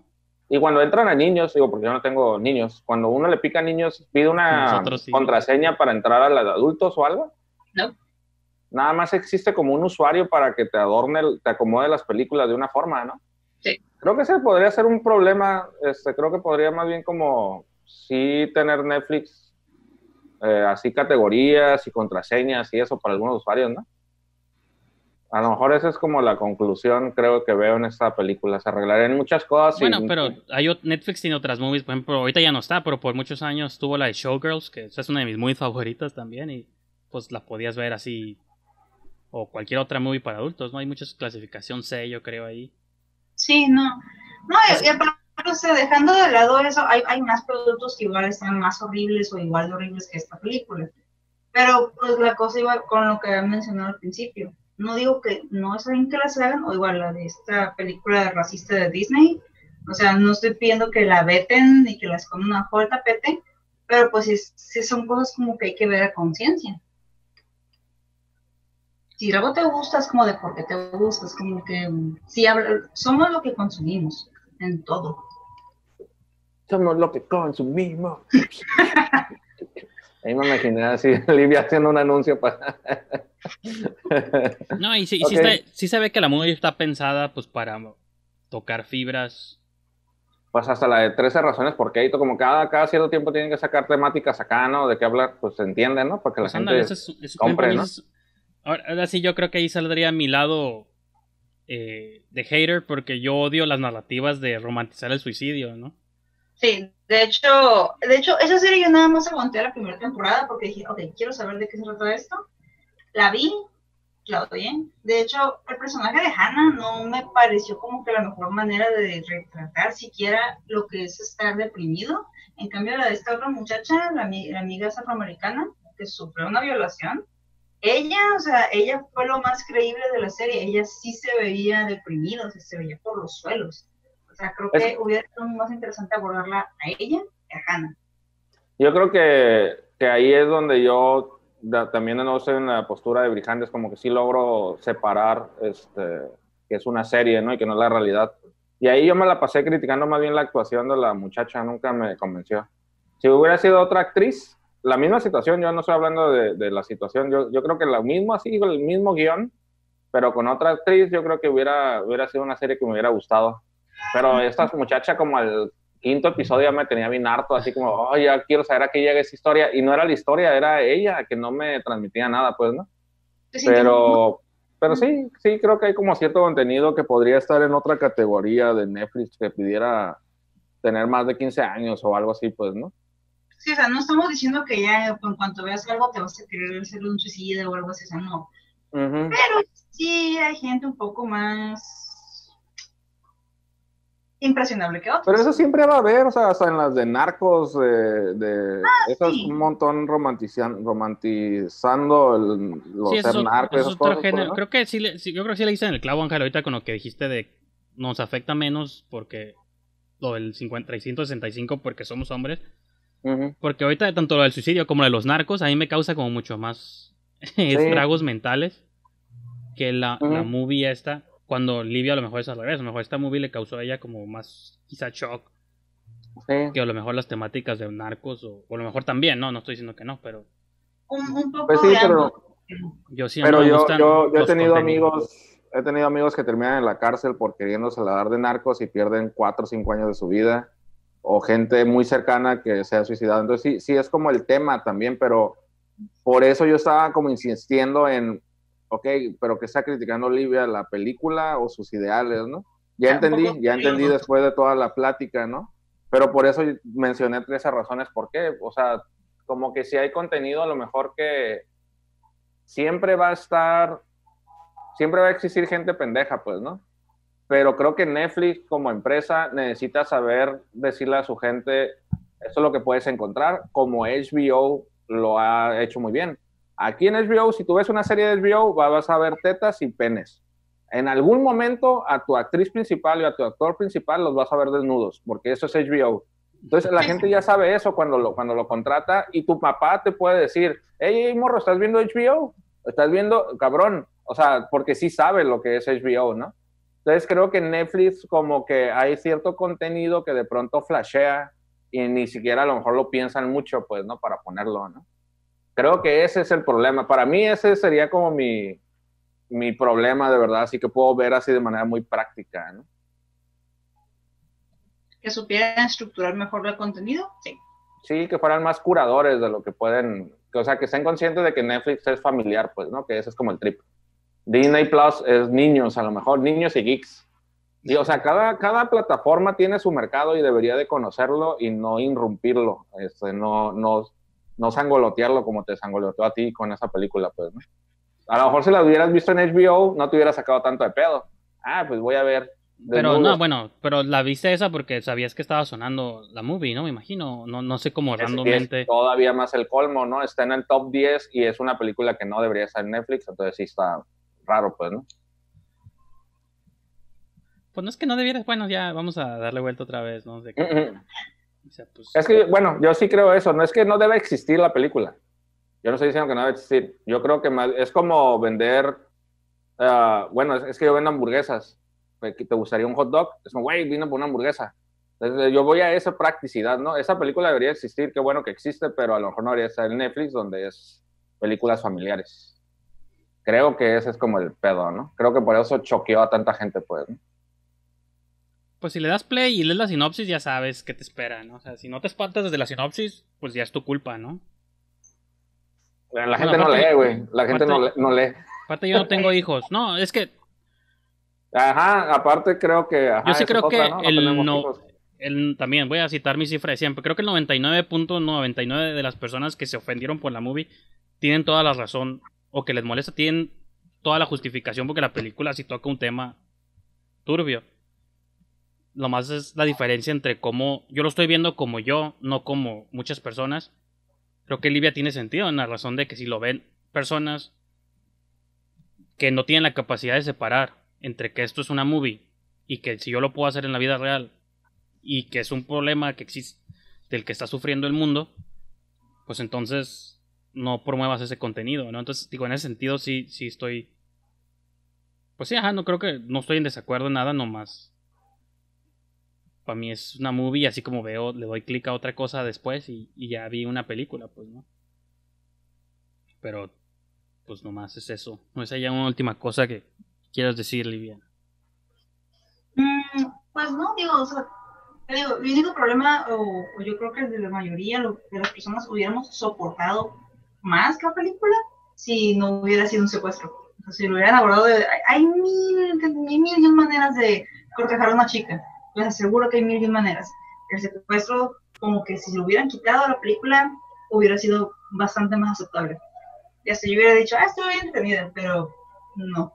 no, es que aparte ni siquiera está entretenida, o sea, no está tampoco, como que afluye rápido, pero como movie no está curada tampoco. no, es que no tiene nada, o sea, no está sólida, no, tiene un montón de hoyos aparte en, en, la trama, es como que... Pues sí, nunca hay policía. El novio, por más culero que sea, pudo haber hey, secuestraron a mi novia en, unas vacaciones en Italia, ¿no? ¿No pueden buscarla o algo así? O su, amiga, ¿no? O sea, nomás simplemente aceptaron que se fue por un año. Y, que les dejó una cartita. Ya volviste y, y, el vato cómo estaba. Y, ah, nos vamos a casar. Ah, ok. Dos meses. Ah, está bien. Eh, yo, yo voy a cerrar mi participación. Esta va a ser la última vez que voy a hablar, nada más para... Yo creo que por el tema, ni siquiera tiene nada que ver, pues nada, bueno, sí, el, hablar de los secuestros y eso. Les voy a hacer otra recomendación, pero esta no es, no es, un, no es una película, es un podcast. Se llama Así como suena. Y precisamente hoy, antes de este programa, estaba escuchando el, el programa que acaban de lanzar hoy, que habla sobre una historia de un feminicidio que pasó ahí en la UNAM. Ah, creo que nos puede poner a, a, reflexionar sobre cómo influencia tanto lo que vemos con las acciones que tomamos, ¿no? Entonces, nada más, una pequeña recomendación y ya nomás para cerrar así. Gracias por. Gracias. Por alterar el, el mood de la conversación, porque ya no puedo. no, pero, o sea, sí. Pues sí, yo, yo, creo igual podemos ya cerrar el programa, ¿no? Yo nomás digo, gente, sepan diferenciar, por favor, entre la ficción y la realidad. Es todo. Lo que se vale en las pantallas no es válido en la vida real. Porque eso, sí, como los, los disparos de escuelas y que son clásicos chicos que están obsesionados con los videojuegos y eso. Pero eso es, pues eso no lo vamos a resolver en, una, en un debate ahorita de una hora y media, ¿no? Entonces, yo no sé qué motiva a la gente a hacer las cosas malas que hace, pero pues si ver una movie, si es chistes de tener todas las movies, pues entonces, pues de qué haríamos películas, ¿no? También, yo no sé, películas positivas, de, de fe. Hay mucho cine cristiano, entonces Oye, ¿había más películas en la lista, aunque nada las menciones? O así, ya no hace que no hablemos de ellas, pero que, que digas cuáles eran. Pues vi la de terror, Relic, que está 2-3. Greyhound con Tom Hanks también está. Pues es que yo veo miles de movies, ¿no?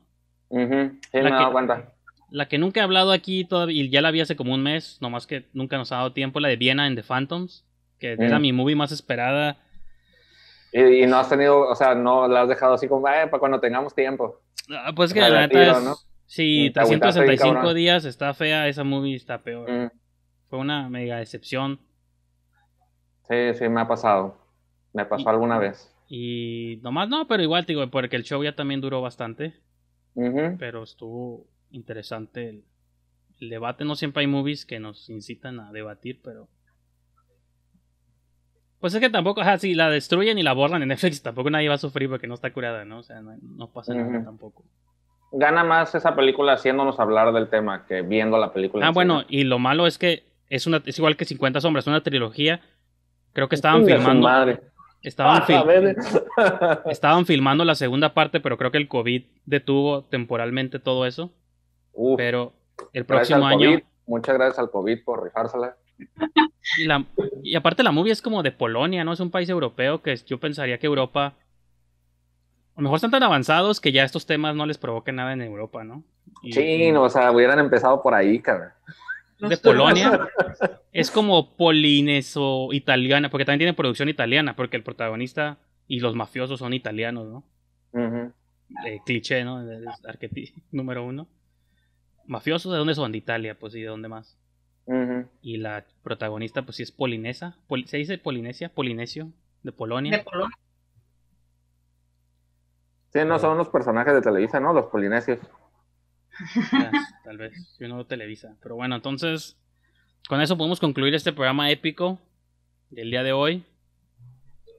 Este, no sé, nomás eh, Ángel, Olivia mencionen en qué están trabajando y qué están Creo que es la vez que más he escuchado hablar a Livia en el programa, ¿eh? Ahora que lo pienso. Vamos a tener que hablar de películas controversiales siempre.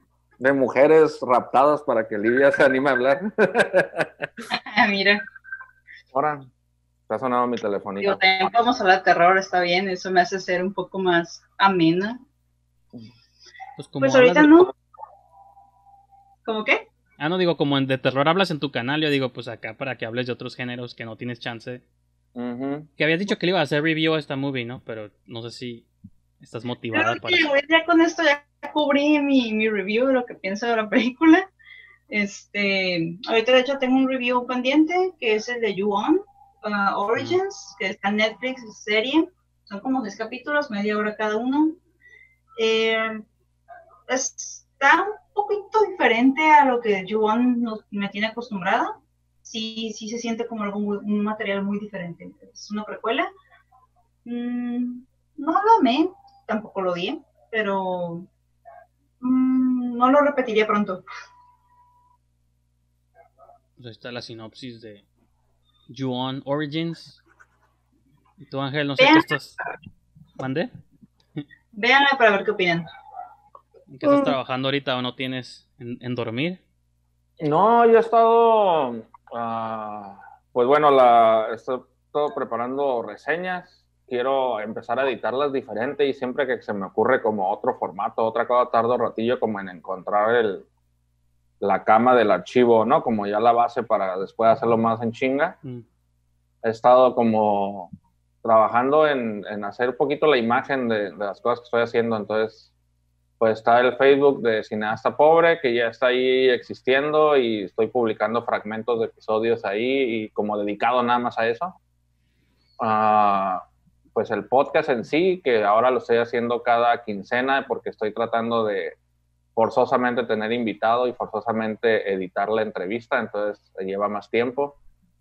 La, mañana voy a entrevistar a, una chava, este, pues estoy preparando, redactando la, las preguntas y todo ese show.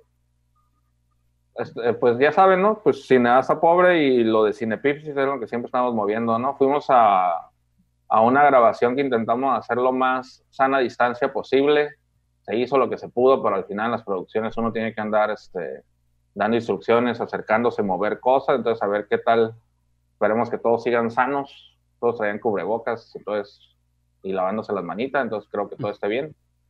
Se va a saber en dos semanas. ¿Mande? Se va a, ah, saber en... dos semanas. Si no me ven aquí en dos semanas, este... Quédense aquí para saber más. Yo, yo hasta la fecha una de mis metas en el show es entrevistar a alguien con COVID, ya sea que lo tenga o que lo haya tenido. Porque, pues, ah, pues yo te puedo conseguir varias. Pues, si, tienes, si te da, Sobre pues todo si tienes familiares en San Diego, eh, sí probablemente conozcas a alguien que ya esté enfermo.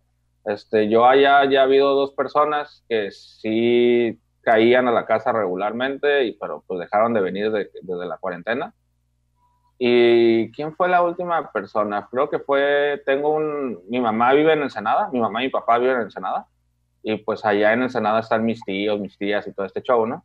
De allá se han enfermado primos y así como por ahí perdidos, pues, ¿no? Pero sí, ya, ya empieza a haber gente bien cercana enferma de ese show, que no fallecen, pues, ¿no? Afortunadamente, pero que sí se enferman, pues, ¿no? ya está como aquí, pues, ya está aquí entre nosotros ya está aquí, ya está aquí. No, es nomás por mera estadística. Y entonces hay que ser apuesto a saber quién de los tres le da primero, ¿no? Hay que ser. Como yo creo que a mí, güey. Yo creo que me va a dar a mí. Yo, yo, si se trata de estadística, creo que se va a dar, me va a dar a mí porque uh, hace tres semanas estuvimos por contrato obligados a ir a retratar unos 15 años que habíamos agendado hace como ocho meses. Tuvimos que ir. Este, se supone que la señora por contrato también tenía que tener un mínimo, digo, un máximo de gente, un máximo de mesas y de sillas, pero a la doña pues le dio ahí una mordidilla, yo creo, al del salón. Cerraron las puertas del salón como si estuviera cerrado, pero metieron un montón de gente. Y pues yo creo que si me enfermo es de esa, de esa vez. y ya pasaron tres semanas, entonces a lo mejor ya sobreviví. Pero todavía andamos ahí como que, hey, hey, hey, qué show. Pero sí, yo, yo apuesto, yo apuesto que voy a ganar. Pues si quieren saber quién gana, gente, estén pendientes. Yo nomás digo, si me da a mí y me muero, nomás continúe el programa entre ustedes en mi honor, ¿no? Yo creo que sí, yo creo que sí, Fernás, déjanos ahí todas tus contraseñas de una vez. Sí, eh, oye, yo, en mi, en mi cajón de calzoncillos, siempre lo he dicho, de que tengo un, tengo como una hoja de papel con todas mis passwords para mi Gmail, mi Facebook, bueno, creo que nomás son esos dos, ¿no? Pero puedo añadirle más. Porque digo, bueno, si un día me muero, como para que mi jefa o el que me encuentre, que pueda entrar y postear ahí, hey, ya se murió, pero vamos a continuar su legado, entonces, pues les aviso y luego les paso mi dirección por si ya no aparezco, pues continúan el show y lo suben, lo suben a mi canal y todo. No sé por qué pienso que tu contraseña sería algo así como, les dije que me iba a morir, o algo así como bien, bien cagajón. Siento que más dar tu contraseña, Ángel. Mi contraseña es. Tum, tum. Tum, tum. Espera el siguiente episodio. No, es cierto, pues ya. Pues el, el, tiempo nos come y pues ya igual. Y el programa ya duró mucho, así que yo creo que con eso lo dejamos. Así, y pues ya saben, todos los martes Solamente cada martes grabamos el show del siguiente martes. Vamos una semana atrasados en todos los temas, pero pues tampoco pues es parte del show, ¿no? Así que pues con eso los dejamos en esta sesión y nos sintonizamos aquí el próximo martes. Ahí.